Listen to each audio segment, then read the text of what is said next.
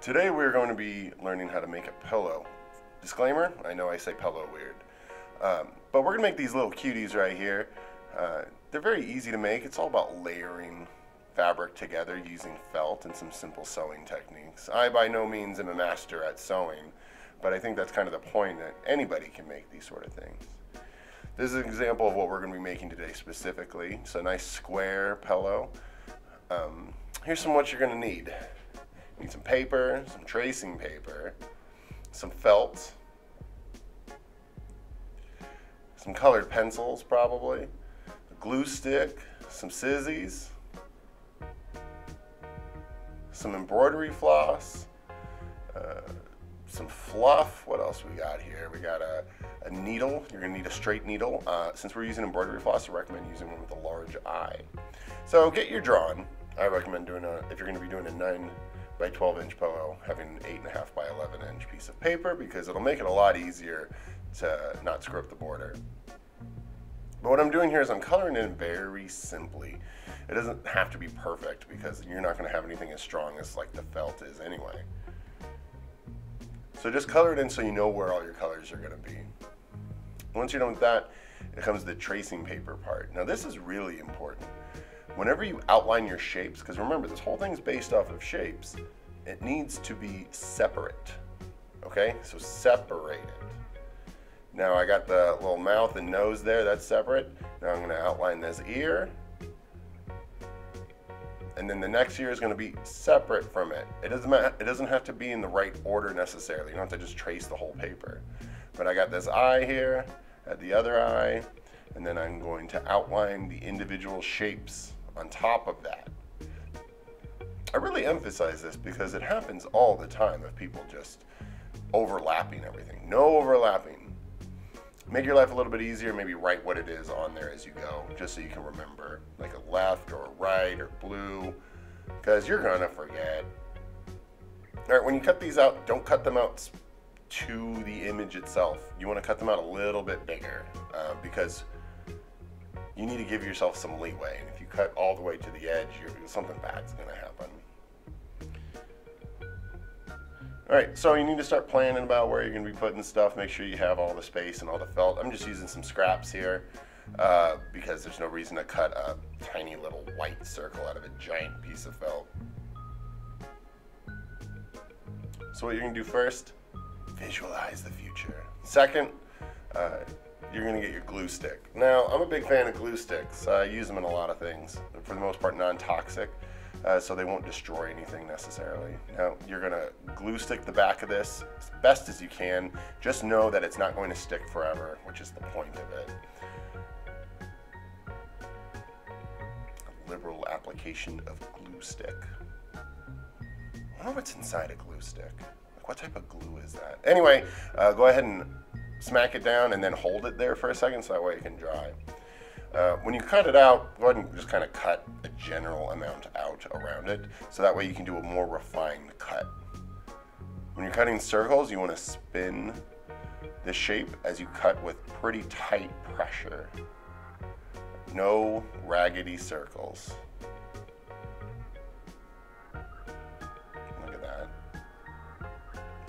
You said it couldn't be done. Well, look at me now. yeah, just pretty tight pressure in the hand. You'll get used to it. Or you won't, and it won't look good. Preferably, it just looks good though. All right. Once you have all, all your pieces cut out, go ahead and lay them out so you can see the future. Um, then you're going to start gluing them down to that. Again, I love glue sticks. So just a nice amount. Uh, there's no specific rule to how much you put down. It will want to come up, which is fine because if this falls off, good, you can just put it back. But go ahead and place it, and then the same thing as before, apply some pretty even pressure to help hold it down. Now, you can see here how we're applying the, uh, the eye down is going to help you because this whole thing is about layering, right? Layering. So you put the blue part down or whatever. The first layer is, again, pressure. And then I'm putting the dark blue down for the pupil.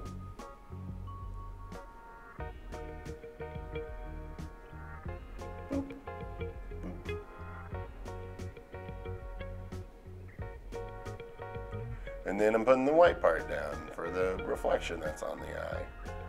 So it's all about layering upwards, okay? You gotta think a little bit differently from how you normally make art, maybe, to make something like this. Also, if you decide something's wrong, it peels up pretty easily and you can fix it. If it's easier for you to glue everything separately, then just glue it down to the base felt, that's fine too. All right, let's get the needles. Let's get to sewing, finally. Jeez, promise sewing and it takes forever.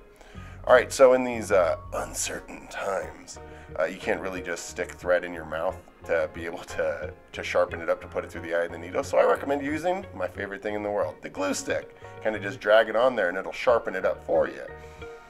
That makes it a lot easier to be able to thread the eye of the needle, especially when you're not used to using embroidery floss or something like that. It's a lot thicker.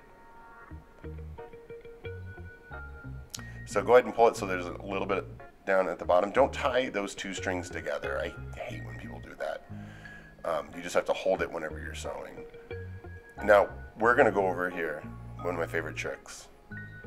You need to tie a knot on the end. And how you do that is you wrap it around your finger, and then you roll and pinch. Simple. I mean, I find it simple. Uh, if you can't do that, just tie a knot any way you can at the bottom. It, uh, the point is, whenever you thread the needle through the fabric, when you, you know when you're sewing, it won't go through, and that'll be your starting knot. All right, so this first stitch we're going to go over um, is called a back stitch. And by first stitch, I mean only stitch. It's my favorite stitch. You can look up your own stitches. There's hundreds out there. But you start always from the underside and you go up. And then you go down. What a world.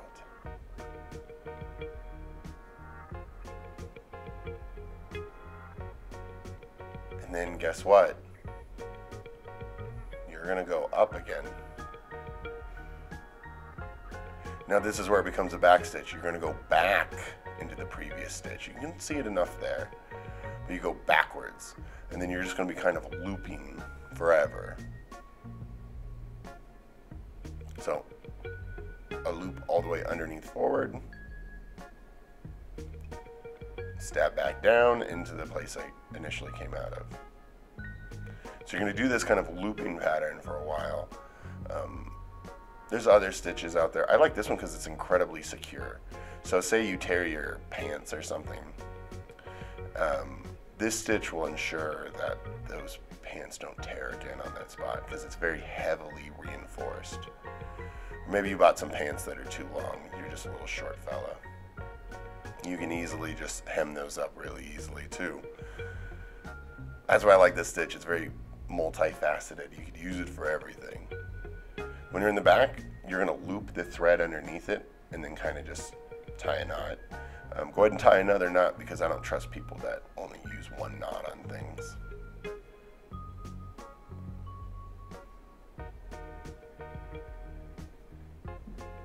Cut off the excess. You can really cut it a lot closer than that. I don't know why I did that.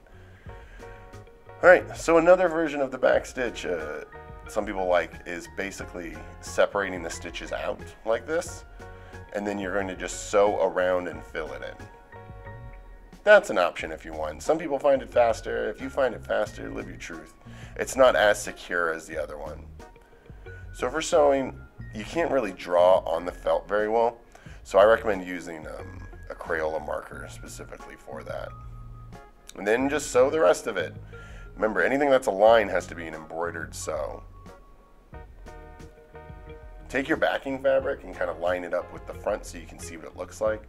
And now we're going to sew all the way around the outside, starting where my finger was, right there. And then we're going to loop all the way around, still using this back stitch. There's a bunch of other stitches you could use. I feel free to look them up and try them out because they also look really good.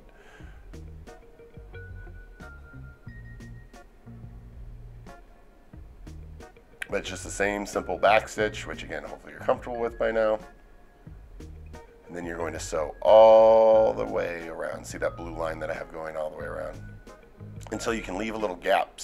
Stick your needle into the side so that we don't lose it and grab your fluff. And time to fluff it up. Aim towards the corners first because it's easier to put the felt or the stuffing into the corners first. and then just jam that sucker full. It's you need to stuff it a little bit fuller than you think because whenever you sew the piece down, it's going to kind of deflate a little bit. Um, this one's a little bit understuffed, but mm, whatever. Stuff it up. So you're going to continue doing the back stitch uh, while kind of holding those pieces together. This is an uncomfortable moment, I will say. This is an awkward part of doing this.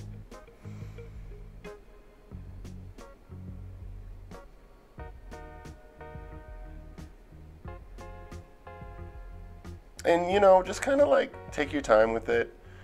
Um, the whole process. I mean, sewing's something that it's kind of difficult to really get into, but it can become very relaxing once you get good. Especially when you're sewing around the edge, you just have a lot of time to kind of contemplate. It's like, how did I come here?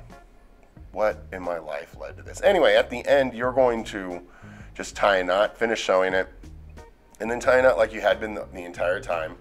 Um, the back looks a little bit wonky because there's some stray threads, but mm, whatever. You can tuck those in if you want, or you can just live with it like I do. It's fine. You made this pillow yourself. If anybody says, there's threads showing, you just go, well, show me your pillow. That's so great, Kevin. All right, so go ahead and round out some of that, that, uh, that fluff. Give it a good smoosh. Um, boop. It's a really important part that you kind of like feel this whole thing out. And then the most important part, the head test. Is it good? Should be good. All right. Pretty simple, right? See ya.